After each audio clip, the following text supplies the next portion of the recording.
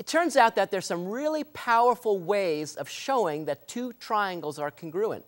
And they're sort of tricks of the trade, and we can use them because they are, in fact, true statements. And I want to show you one right now. So this one is known as the side, side, side congruence. And sometimes this is referred to as just as an abbreviation, SSS.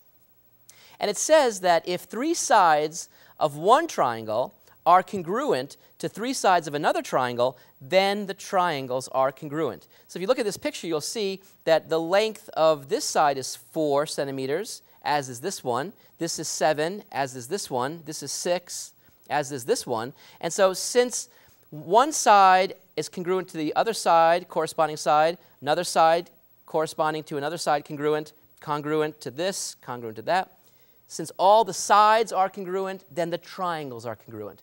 It's a very powerful way of showing two triangles are congruent when you have a lot of information about their sides. Neat. Let's take a look at an example. And let's see if we can justify that triangle MNP is congruent to triangle OPN. Now, we're given a lot of information here.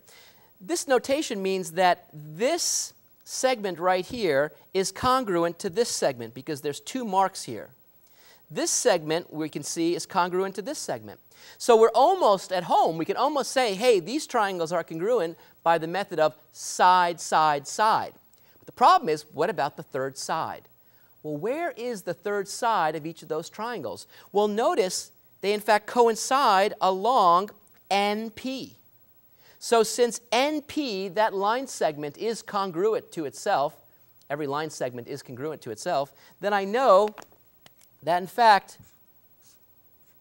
this line segment is congruent to itself. And so therefore, all the corresponding sides, this side of this triangle is, is congruent to that side of this triangle, this side of this triangle is congruent to this side of this triangle, and this side of this triangle is congruent to this side of this triangle, since that side is the identical object.